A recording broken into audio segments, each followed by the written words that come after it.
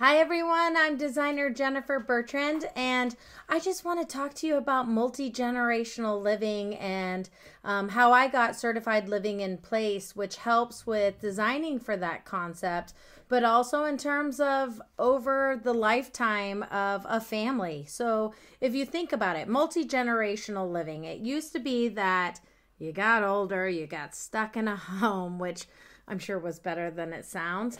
But um, when I grew up in Europe as a child, I lived in a palazzo in Naples, Italy, which is not as nice as it sounds, but it was a multi level home that each level a different member of the family lived on. And on Sundays, everyone would come in the basement and have um, like the oven baked pizza together.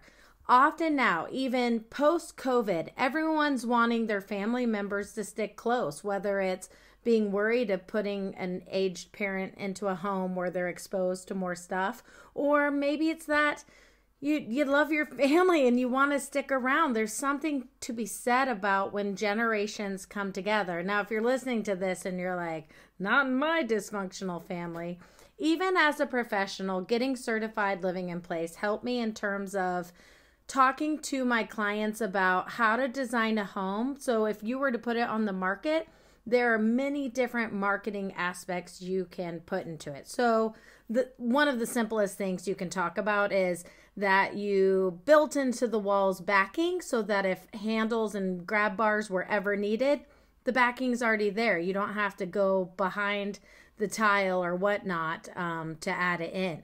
That's a good selling point. Um, anytime, at any moment, anyone can have a family member need to come live with them. And anything can happen to any family member of any age to need their home to be adjusted for them. So um, understanding these basic concepts and getting certified in, in it only added value to my career but it also means that i'm able to help a family decide how to invest in their home so that it saves them long term. So it's a lot of fun stuff, and uh, hopefully you'll check it out. And who knows, maybe you'll be one of those families that's now multi generational. You never know. My child's going to kick me out.